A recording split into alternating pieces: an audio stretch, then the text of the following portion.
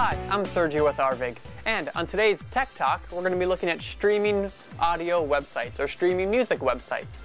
Um, these are the kind of things where you go to the website and listen to music, largely for free, but there are paid for versions too, and you can uh, listen to any song you want, are tons of music, or it's like the radio on the web. So why don't I show you an example or two.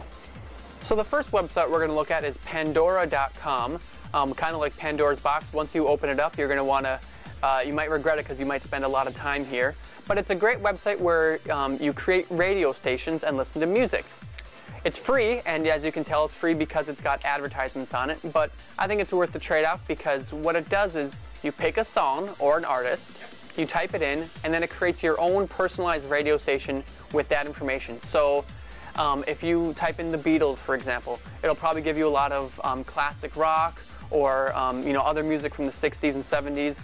If you type in, um, you know, Eminem, it's going to give you a lot of different rap music. So it all depends what your tastes are, and I find it's really good at picking those tastes well. A few uh, things about Pandora: you can only listen to it so much um, um, per uh, month, and I believe that's 40 hours before you have to pay, have to pay for it. But 40 hours is kind of a lot, so I think you'll be okay.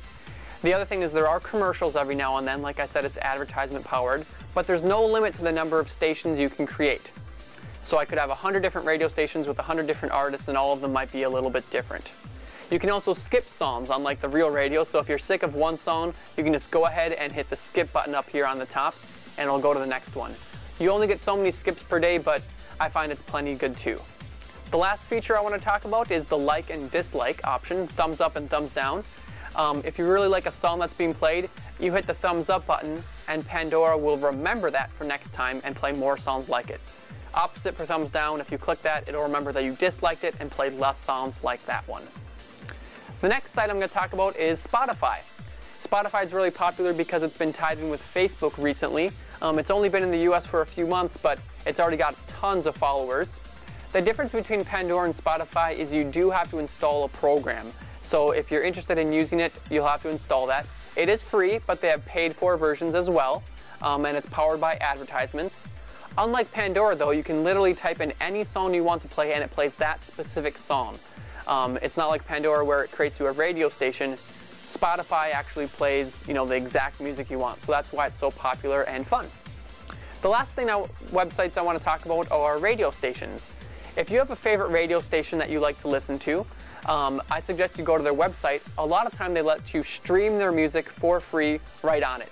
So let's take a, a site I like. I'm a fan of kind of um, top 40 music, so if I go to kcld.com, that's a station based out of St. Cloud, they'll have an option to play their um, radio station right on the internet, the Listen Live button. And I think you'll find it's the same for lots of different radio stations too, so why don't you check those out.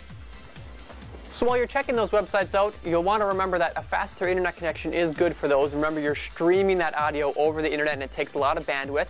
So if you don't have high speed yet, you should really get on top of that. Arvig offers free installation, or if you need to upgrade your current package, we'd be happy to help you out. You can get a hold of us lots of different ways. Stop at one of our Arvig locations, or call us at 888-99-ARVIG, or better yet, go on the web and check out arvig.com.